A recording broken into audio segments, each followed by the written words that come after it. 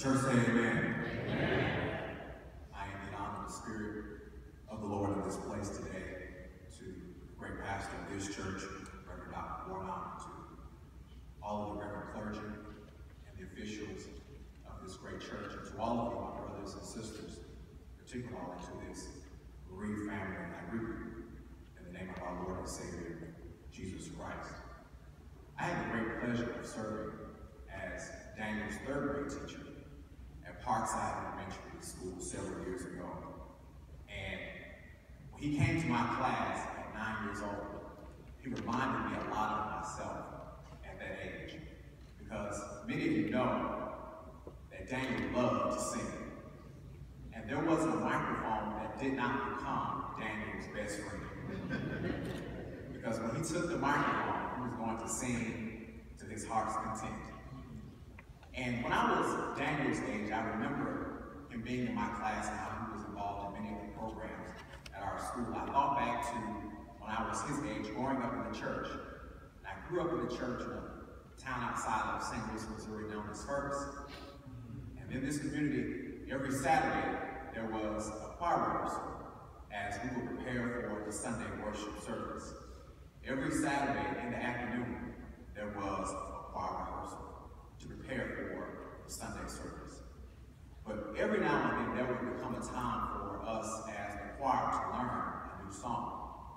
And as a member of the choir, I would look at the worship leader, and it was always a challenge to identify the right person to sing the solo for the song, the lead part of the song.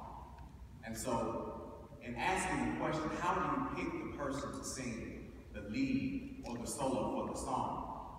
Question was answered by the response. You have to pick the person with the right voice and the right testimony to go along with the song. And Daniel's life was a melody all within itself because he lived a life that was a song. As a student in my class, he was always very ambitious. He was always very eager to learn and always was willing to be involved in activities in the school. And as a teacher and some of his other teachers who are here could, I'm sure, attest to the same thing that Daniel loved to learn. And Daniel loved to lead, and sometimes he would even want to teach the class himself. and so I would give him the opportunity, if he was really engaged in an activity, to lead the class. And even after Daniel left Parkside Elementary School, he went on to middle school and to high school. He would come back occasionally to the school to check on his former teacher Mr. Farmer. And the last time that I encountered Dave when he came back to school, he was telling me about uh, his work that he had done with the foundation that he created, laughing at leukemia. Also, his ambition to go on to college. And he even shared with me some of his challenges physically. And even in that moment, his spirit embodied a song.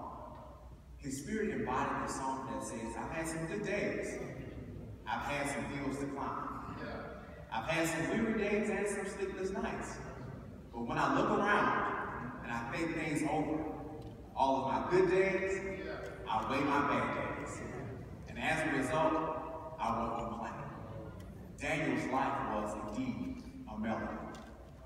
But just like when I was a child growing up and going to rehearsal on a Saturday in the afternoon, on last Saturday, in the afternoon, it was time for another kind of choir rehearsal. And this choir rehearsal was not one that would take place in a music suite or in a choir loft, but this was a choir rehearsal in the heavens. And it was time for the choir to sing a new song.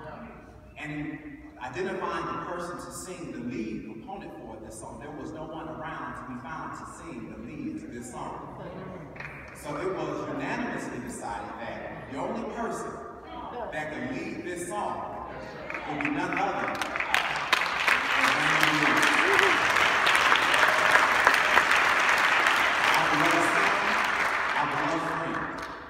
this great young man.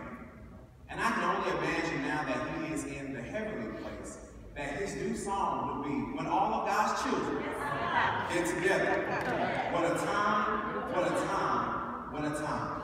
We're going to sit down by the river. A time, What a time, What a time. We thank God for the life of our beloved friend, my student, Daniel Blues. And in the words of 2 Timothy 4 and 7, you have fought the good fight of faith. You have finished your course. And we praise God for your life to the family. You are continue, you will continually be in our prayers. God bless you.